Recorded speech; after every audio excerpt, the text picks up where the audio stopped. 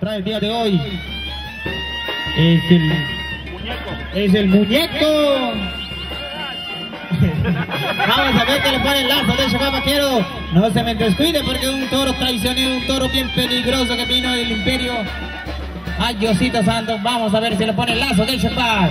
Ahí se agarran los amigos vaqueros porque es un toro bien conocido de Yucatán. Hay shockback, señores, hay shockback. Vamos a amarrarse allá, compadre, porque el lazo caído, el lazo perdido. Vamos a ver ese vaquero que le puso el lazo de shockback. Vamos a confirmar cómo se llama.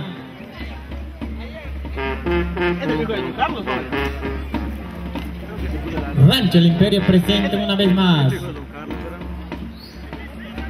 Con el suficiente vaquero, ya no le meta más.